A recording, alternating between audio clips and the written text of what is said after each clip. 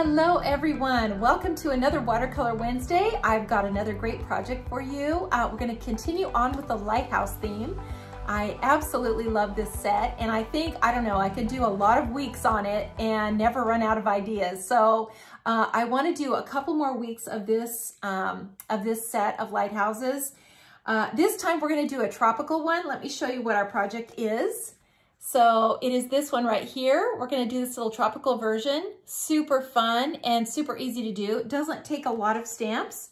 Um, as usual, a lot of projects that we do just take a few, a few sets. And um, that's the fun of it, to see how many different things we can create with you know, with these little sets. So um, in this case, we're gonna do the lighthouse, we're gonna do the tropical one.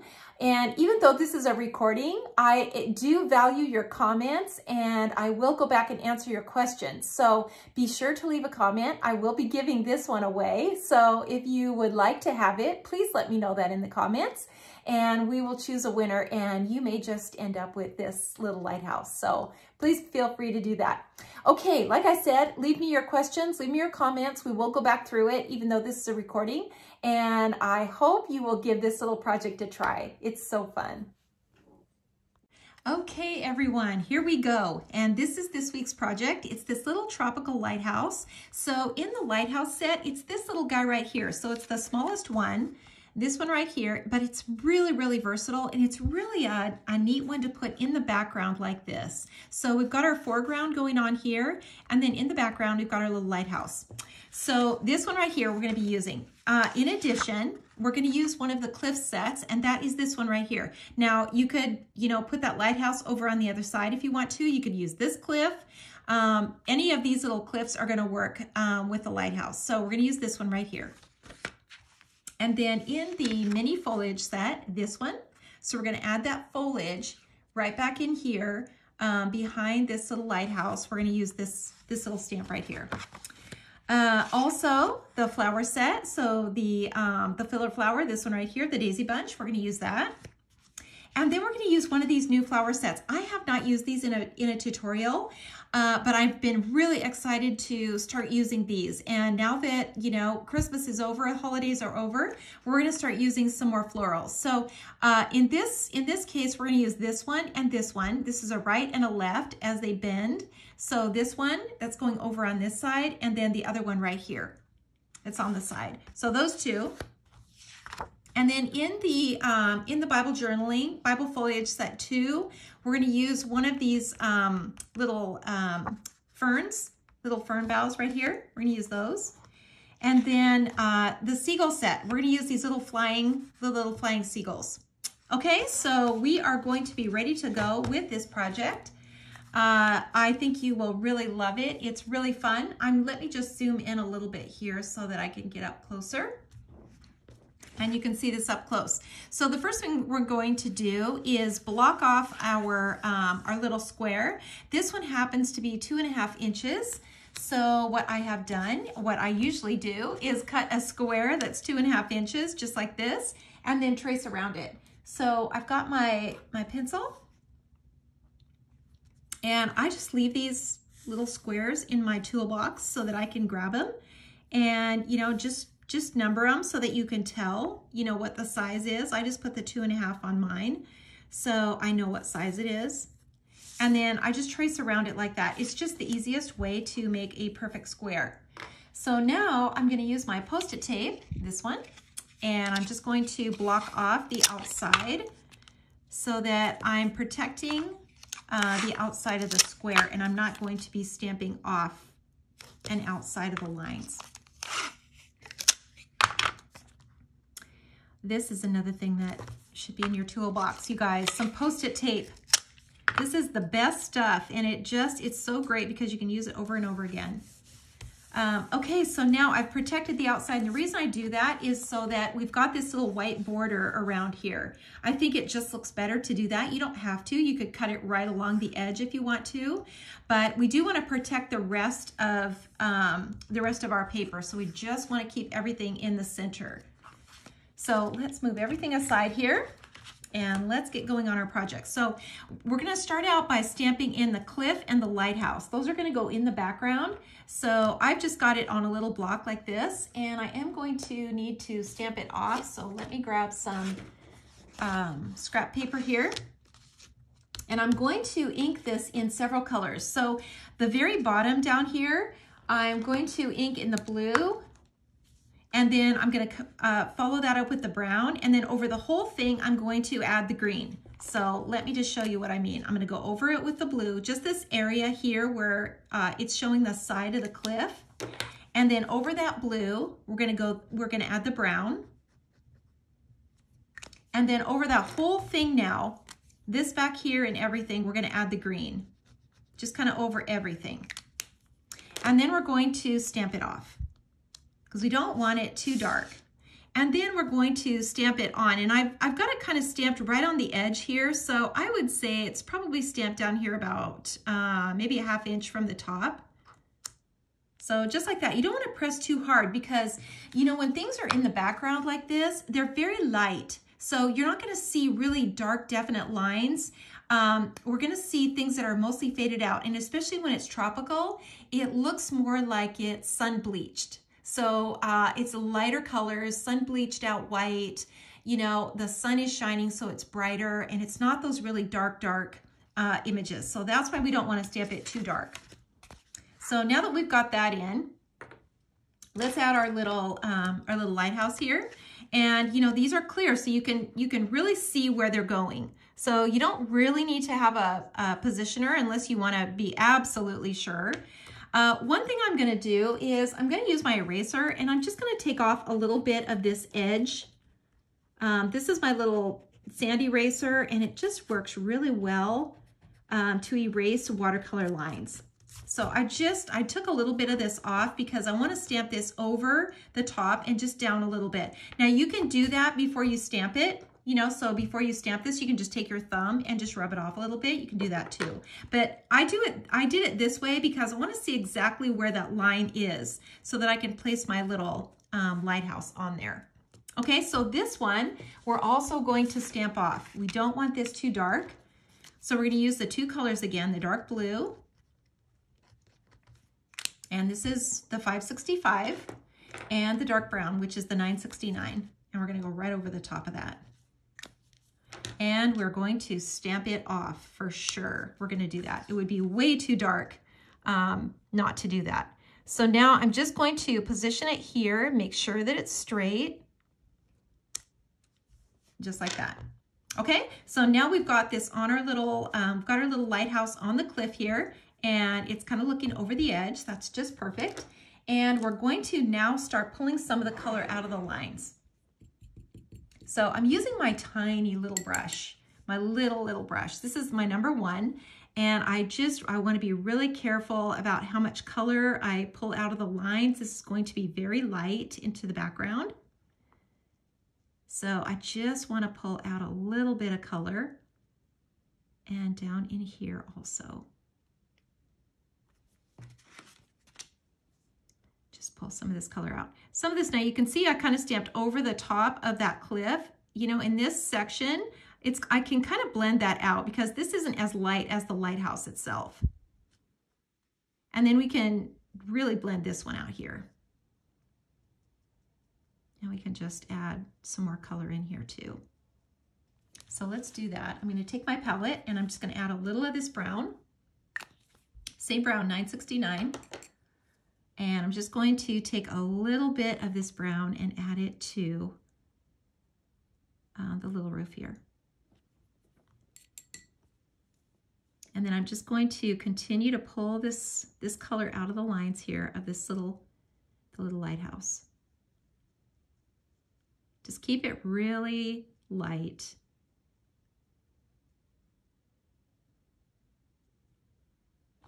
So I'm going to add a little blue now from my palette and just add a little shadow here along the side. This would be kind of back into the shaded area. So we're just gonna add a little bit of this. Just keep it really light. And then let's add our window details in. So I'm going to use my twin tone and I'm just going to color these, these little windows. And even though they're tiny, you can still get a bit of a detail in there. And then these we can just, just color in dark.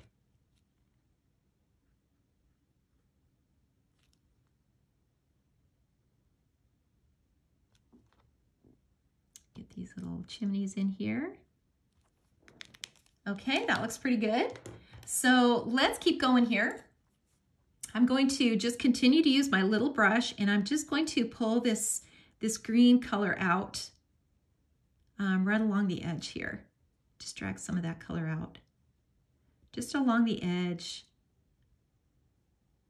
along the edge of this cliff. Keep this really light. And then down along here, we're just gonna pull out the color from the lines. And you should be able to see that, that mix of color. We've got some brown going on, we've got the blue, so we've got a really nice mix of color. And this this little cliff, I mean, it's it's got it's got green in it because it's this is a tropical scene. So these cliffs are really lush and green.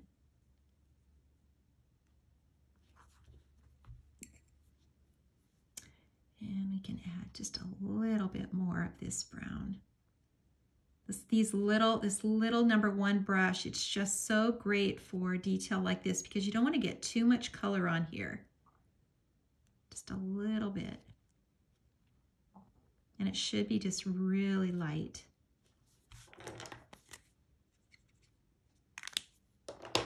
I'm just to add a little green now underneath. Got a bit of an overhang here, so we're to see a little bit of a shadow.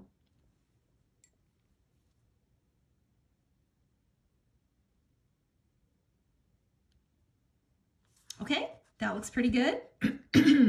so let's get our foliage in. So we're gonna use this little guy right here. And obviously we don't need the whole thing. That would just be way too much. So we're just gonna do the corner. And I'm just going to kind of stamp it in here like this. And then just get a little bit right here out in front.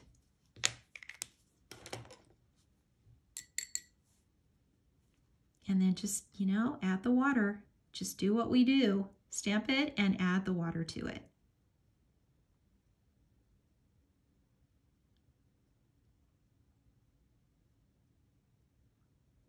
And just kind of blend it all out. And we can just kind of pull this, this line down, you know, underneath, underneath this, um, this little, you know, structure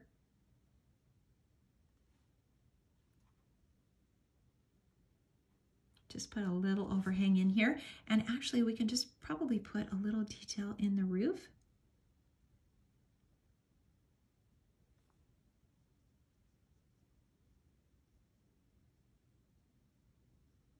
And a little bit up in there. Okay, it's coming together, you guys. That looks pretty good. So I'm just going to take my little twin tone and just really darken, you know, where this kind of comes in. And create a little more definition there. So that looks pretty good. I think we're getting it. Let me hold this up so that you can really see it. It's kind of small, so it's gonna be in the background. Okay, so now let's go on and we're gonna add some trees back in here, but let's do our foreground first. Um, the first thing I wanna do is I wanna kind of pencil in my horizon line and you know, it's a it's a good idea to just take a ruler and do this because you want to get this line straight. It's really, really important that your um, your water is your water line is straight. So I'm just going to put that line in just like that so I get an idea of where the water is going. And we're going to put the foreground in, but before we do, we're going to add our water in here and keep it really light. So you can see that um, the water is darker up in this area, and as it comes down, it's really light and almost disappears down here at the end. So we don't wanna add too much in here, and we can always go back and add a little um, bit of that color later. So we're just gonna concentrate on keeping it in this area for now. So I'm gonna mix some color here. I'm gonna mix this light blue. This is the 526. And I'm gonna add a little bit of green to it. and then a little bit of this tropical. So this is the 296. It's kind of a tropical uh, green. And, you know, just play around with this because you can you can try this out on a, on a, you know, extra piece of paper and just see if it's too green or too blue. You can add a little more to kind of make it that tropical um, kind of bluish green color. That looks pretty good there. So we're going to put this on now and you're, you want to uh, just be sure to, um, you know, leave some white areas. You know, wherever you have white showing, that really kind of means that the light is catching there and uh, there's movement. I just put a little more green in here. That just seems really blue. So you want to just really keep um, those that white, those white areas. And just kind of leave those white spaces.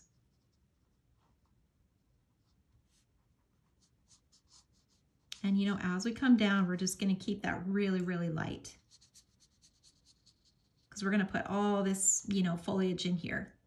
And then, you know, in here, you know, where these little areas are, where the water kind of goes in to these little coves, you can make that a little bit darker. And then let's go ahead while we're doing this and just put the sky in. So I'm gonna take some more of that warm blue. This is the 526. And I'm just gonna take some of this and just put some sky in. And you just, you wanna just kind of push it around. You know, I always, I never bring the sky all the way down to the, um, to the horizon line because I like to see that, um, that cloud line there. It kind of creates this look um, like there's a cloud line there and I just, I think it gives it more dimension. I'll be careful that you don't get into your lighthouse um, don't get that blue into here because it will, it really will bleed out. And then we can go just a little bit darker in here as well. And I'm just, I'm going to take a little bit of this blue now and just add it to this little lighthouse, like a reflection. Just a little bit of this really light blue. I think that will just um, at a time. And then let's just put a little um, blue into these this glass here.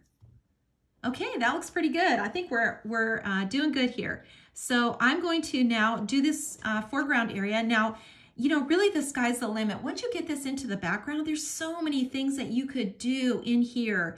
Uh, you could put some sand in, uh, you know, a little um, you know, some grasses and just keep it really, really simple. Uh, I'm just going to show you one option. I'm just, we're just doing this little tropical one, but there are so many ways now that you could complete this little composition. So let's start out by uh, just cleaning off. I think I had, I'm not sure what color I had on here. So I just want to make sure that I'm cleaning that off um, with my thumb, but you can use a, you can use a baby wipe as well. So I've got that cleaned off. And now I'm going to use something bright like this orange and just add some of this into the background.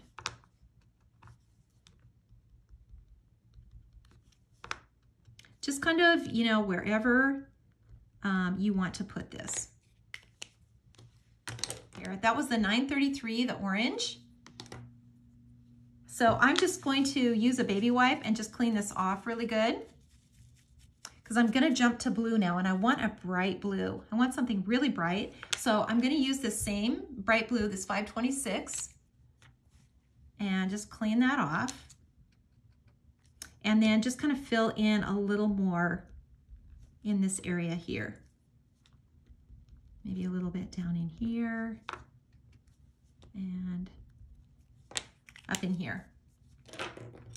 So now once I've got that done, I can just take my brush and just soften this all up.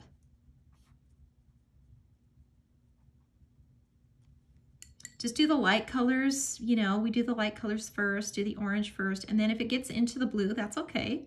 Or into the, into the watercolor, that's okay.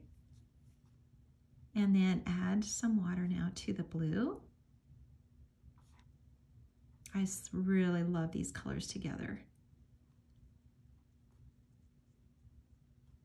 And, you know, just, just blend it all out. You know, the more that you do that, the softer it's gonna get and give you that kind of that whimsical look.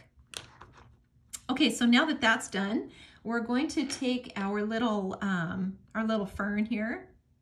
This could be a palm or a fern. I mean, there's so many uses for this. It's sort of a generic leaf, but it can be both. So I'm just going to ink, you know, part of it. I don't need this down here, the stem. And I'm just going to kind of put this in here. This is what makes it look uh, tropical when you get these in. And then just maybe a couple more on the side. And these don't need a lot of water. So you're just gonna kind of touch those little leaves. We wanna see the definition of this. This is, like I said, this is what makes it look tropical, uh, are these little ferns or palms.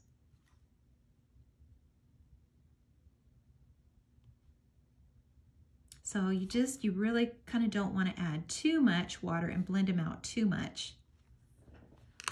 And you can see why we kept that really light coming down so that we have room to stamp in all these really bright colors. So let's go on now to our flowers. And we're going to, let's start out with this one. And I'm going to, I'm gonna stamp it on the side and I'm actually gonna bring it up here so that I can get it into this light area. So I'm just using a red. This is the, the 856 red and just inking the bloom and the little bud. And you can use any, any of the greens. And then let's do another one. Actually, let's just do this one again.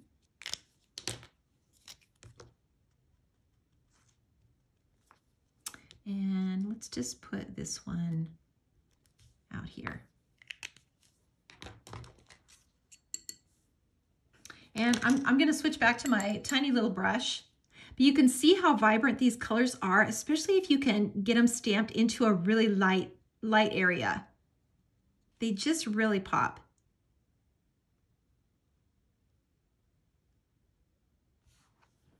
And I think maybe just one more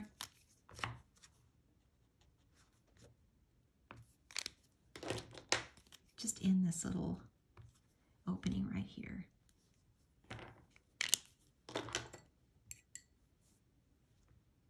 And just stamp it and add water to it. That's it. That's all we do.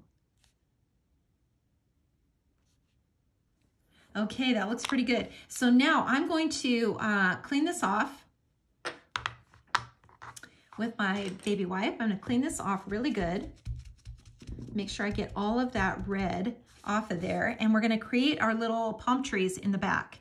And we're gonna use this little this little flower because we don't we don't have a palm tree that's small enough. And so we're gonna kind of create our own. And we're gonna do that with this little flower. So I'm gonna use my positioner. So like this and use my little my little acrylic plate. Now I'm gonna turn this upside down. So I'm going to ink it with the green. And I'm going to stamp it upside down on my acrylic plate. And then I can kind of see, you know, exactly where I want it to go. And I'm gonna just kind of lean it over a little bit. So I'm gonna stamp it right here. And I'm gonna ink it again just to make sure it's dark enough.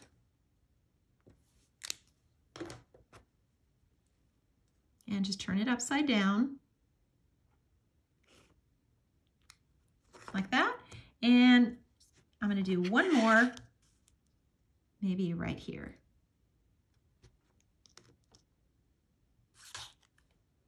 And I can just huff on this one. Okay, so we've got our little, the little tops of our, of our uh, palm trees. And I'm just going to add some water to them. And you can, you know, if you add a little, you know, an extra little thing on here, you can make them look different so that they don't look like the same. So we can just add some dark, a little bit of dark in here and Maybe change the shape of one of them a little bit. And now we're just gonna draw in the tree trunks and we're gonna do that with, with the twin tone, the brown. And you know, palm trees, they kind of, they don't really grow straight up for the most part. Uh, they kind of bend. So we're just gonna do that. We're just gonna bend them down like this and kind of put them in the trees just like that. And don't worry, don't stress out about that. That is just, that is just the easiest thing to do. And you know, if it's not perfect, it's okay. We don't care. All right, so we've got our little trees in the background. So I think the only thing left to do is add our little seagulls, these little guys. And I kind of want these to be really light in the background, so I don't want to ink them with too dark of a color. So I'm using, um, I'm using kind of a, a neutral. This is an N79. And I'm just going to stamp them in here, just like that.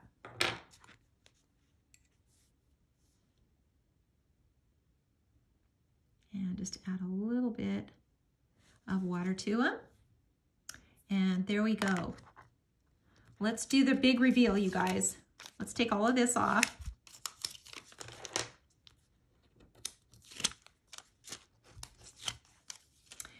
And we're going to erase the lines now, now that everything is dry.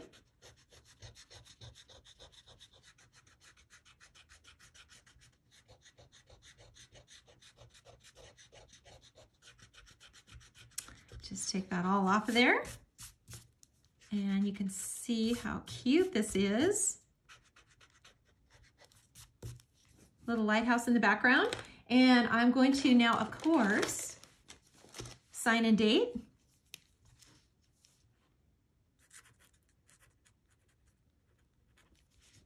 There we go. We are good to go. There is our little painting already finished. I hope you guys will give this one a try. Uh, I love these little lighthouses. You could also put something else up here. So, you know, if you want to change it up and put a little um, tropical shack up there, a little house or a little cabin up on this little um, this little cliff, that would be so cute too. You could change out the color of the water and make it cooler and you could do a little cabin up there and do something different in the foreground. So there's lots and lots of ways that you can use this combination with these florals in the foreground. So I hope you guys will give this a try. Thanks so much for being with me today. I appreciate it so much and I will be back next week, next Wednesday, with another watercolor tutorial.